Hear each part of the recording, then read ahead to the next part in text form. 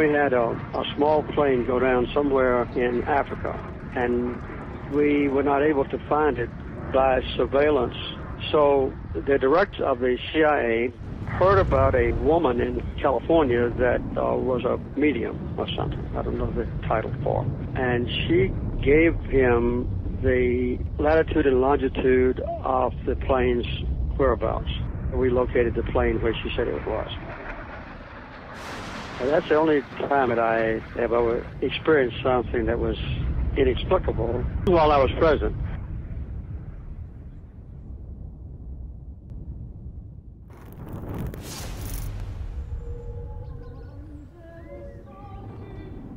He was the most psychic man in the world, but nobody seems to know what killed him.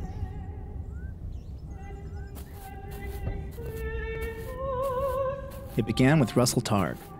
The physicist in the beret there appeared at my door with a box of documents.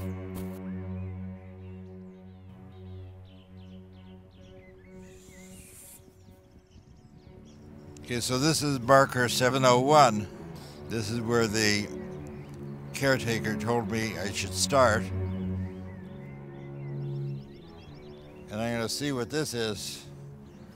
This is marker 700. So indeed, indeed, Pat's grave is entirely unmarked. I think he deserves better than that. This is probably my last opportunity to say goodbye to my good friend Pat.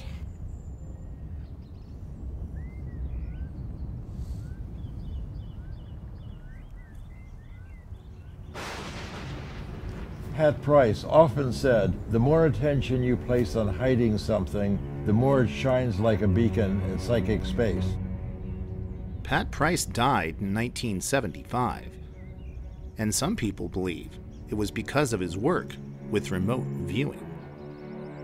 Psychic spies, Cold War whimsy, or secret weapon. Some people may have certain psychic powers. This may reassure you, it may alarm you, but in fact, for some years now, the U.S. intelligence community has wagered a modest amount of money on the possibility that such powers do exist. Such powers do exist. Do exist. But the most enduring experiments have been in the field of remote viewing. We got into it when we discovered that they were in it. We found that many individuals are able to accurately describe what's going on in distant locations, blocked from any kind of ordinary perception. Are you saying that the work you've been doing is classified? I really can't talk about uh, matters of classification, as you can imagine. My name is Russell Targ, and I'm a physicist.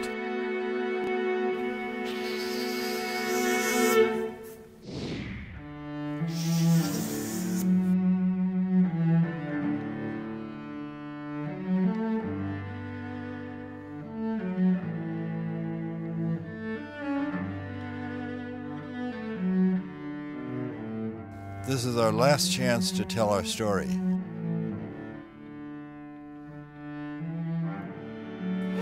I haven't been on a road trip like this for many years. They always assume that people are immortal.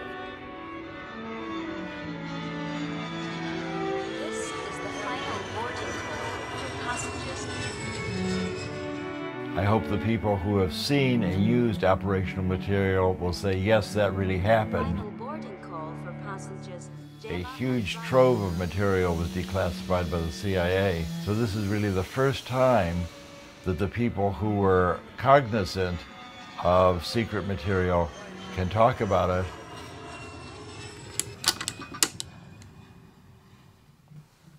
At one time, humanity worshipped fire. The shamans called it magic, and the people feared it. And now science recognizes fire as simply another part of the natural world. Ideas change based on new evidence. But the fear of the unknown remains. The future, the future, it all looms very large. What if psychic abilities were real? What if you could look anywhere, using only the power of your mind?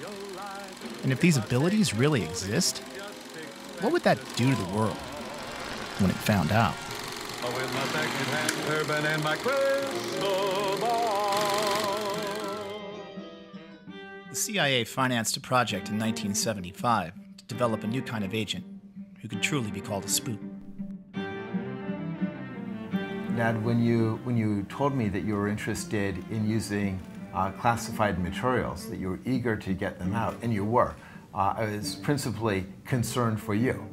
And our family, no doubt. No, no doubt. Uh, we received a letter uh, from the CIA and said, uh, sorry, not now, but later. Said, well, Nicholas, I'm just going to publish the, the book. And I just thought that what could be more important than to help my father, one, get the documents that uh, he was seeking, but also to help make sure that he stayed out of jail. Uh, so that all seemed like a, a very worthwhile uh, enterprise. Yeah, very good thinking. And I then contacted the congresswoman in um, Palo Alto, and she submitted a letter uh, on your behalf as well. Oh, that's very nice. I didn't know that. Several months later, uh, the CIA released the documents that we had requested, and you were able to tell me the story in full detail. If I taught you to expect a miracle, it's been worthwhile.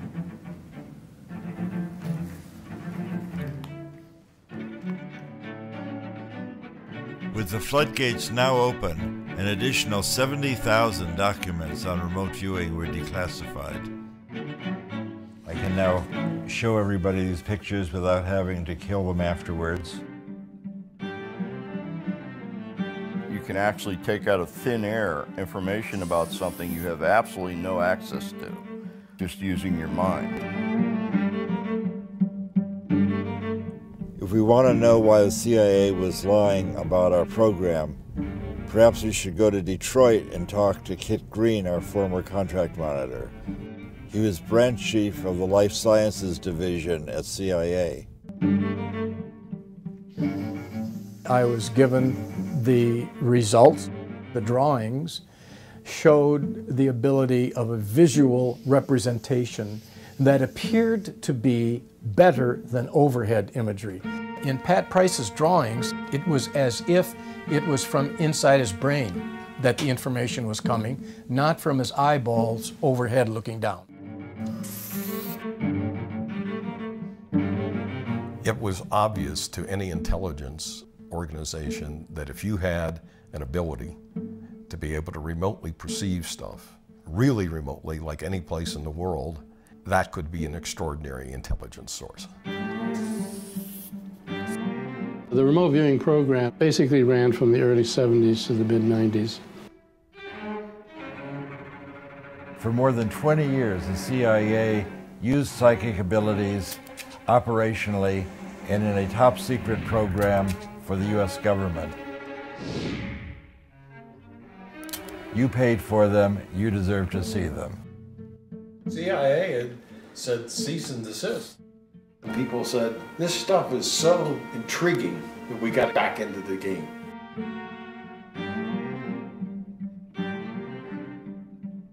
We once found a guy that could see anywhere in the world through his psychic powers.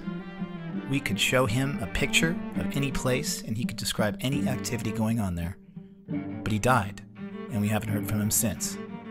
CIA Director Stansfield Turner, Chicago Tribune, August 1977. Because I believe when he died, he was out in Las Vegas or something, and, and uh, Kit Green rushed out there. Even though he died unattended in a hotel room, you don't need to make it a medical examiner case, although that's not correct. And he was taken to the emergency room, which I visited. Speaking now as a criminologist, I would have investigated the hell out of it.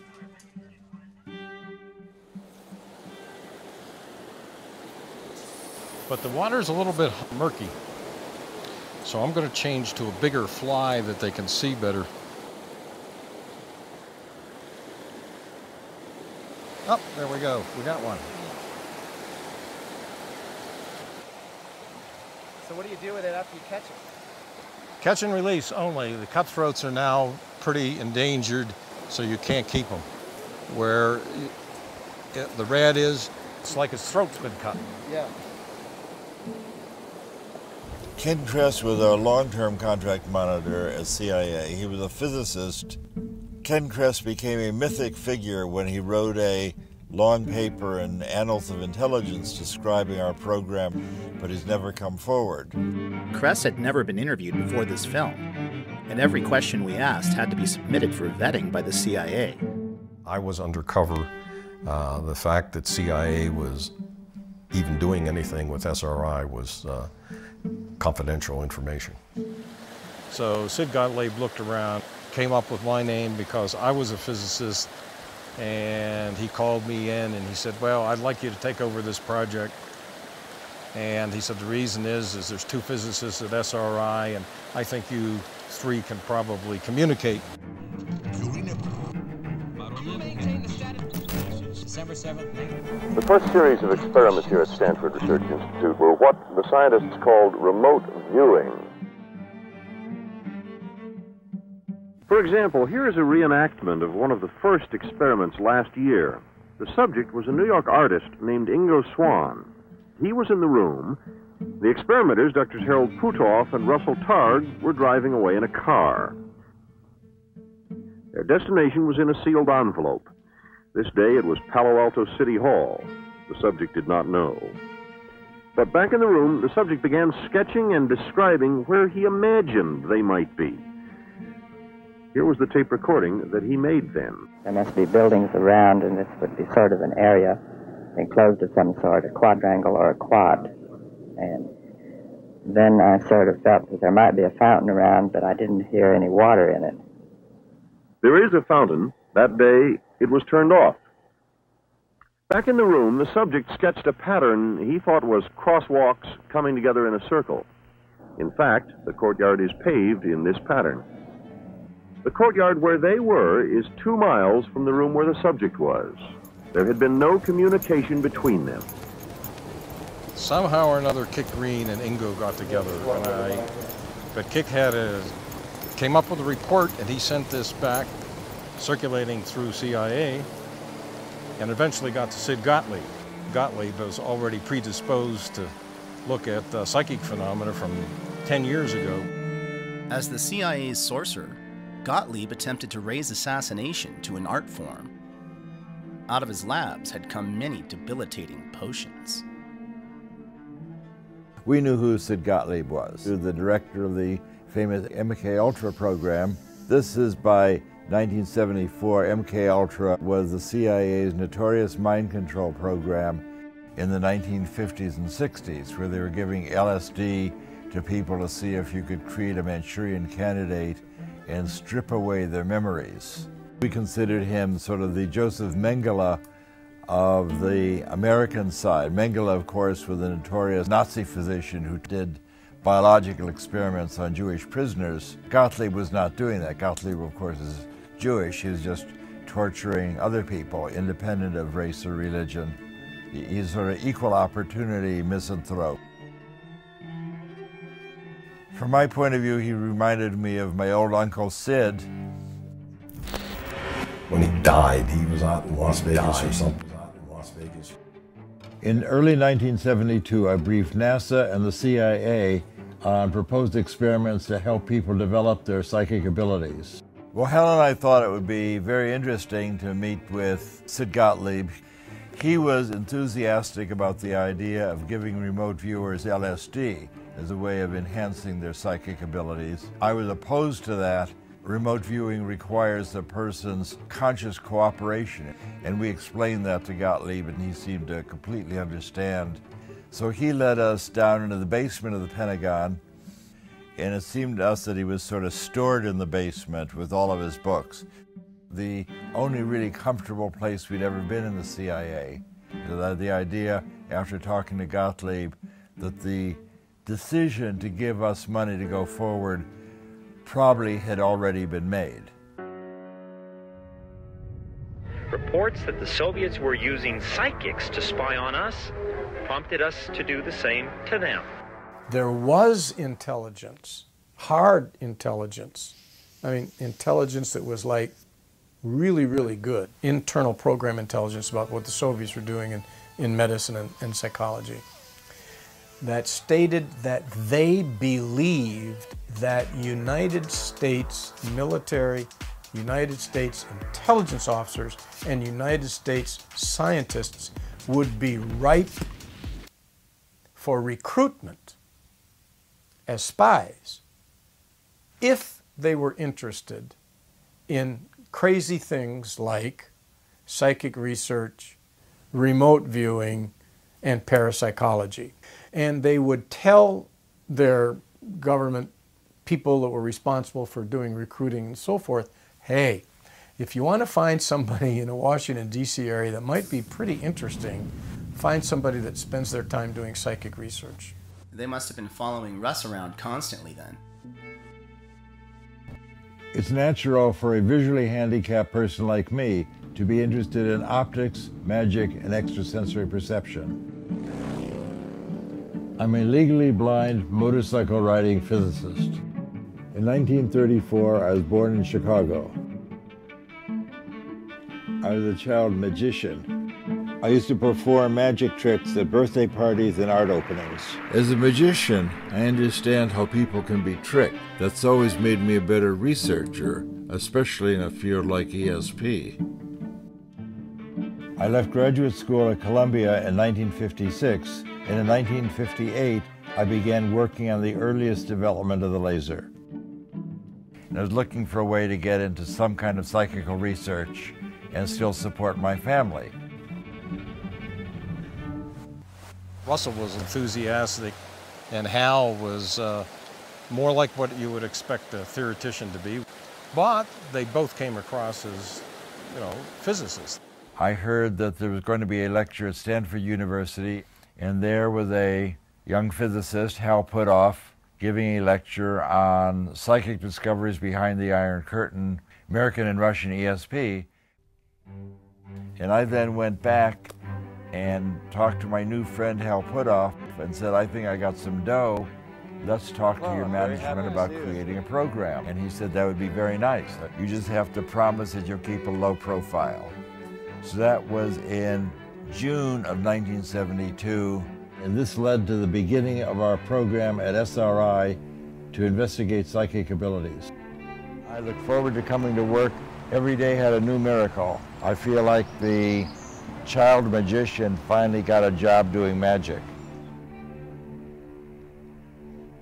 As we were doing these experiments, we began to run into flack from the psychologists at SRI. They said, you know, you've got that crazy ESP experiments going on. That's going to ruin our reputation. We're going to lose our funding. Get rid of those guys. Hal had worked for several years in naval intelligence in Washington, and that may have made him a little more secretive indeed. Yep. I had access to uh, one of the most shielded experiments on the planet. It was a shielded magnetometer that measures weak magnetic fields. Against his better judgment, Hal snuck his very first subject into a forbidden lab at Stanford. The man claimed to be the greatest psychic in the world, and his name was Ingo Swann. Swann claimed that he could move the needle of an unswayable magnetometer. Buried under